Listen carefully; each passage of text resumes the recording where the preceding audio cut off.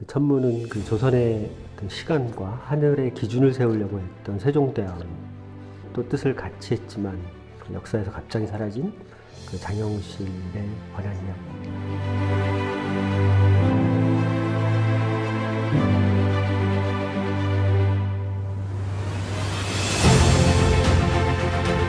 실제로도 문헌에 안여 사건 이후에 뭐 한 줄도 기록된 것도 없고 왜 이렇게 많은 업적을 갖고 있는 과학자임에도 불구하고 왜 기록되지 않았을까?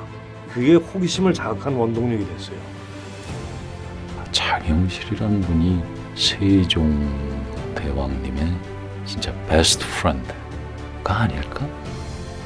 동료의식, 우정, 존경, 서로에 대한 다른 상상으로 이 두 사람의 이걸 풀어보는.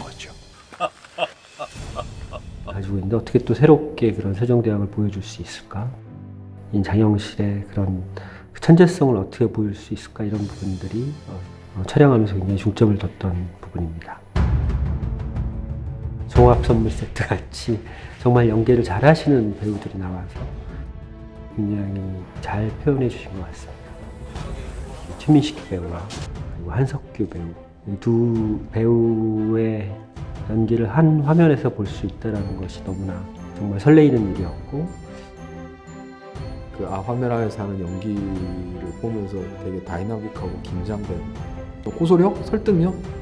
이게 어마어마한. 진정한 궁합은 별로 말을 안 해요. 진짜 이심전심. 그리고 이런 게 호흡이구나라는 게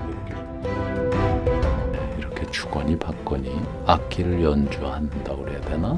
재밌고 좋았어요. 기뻤어요.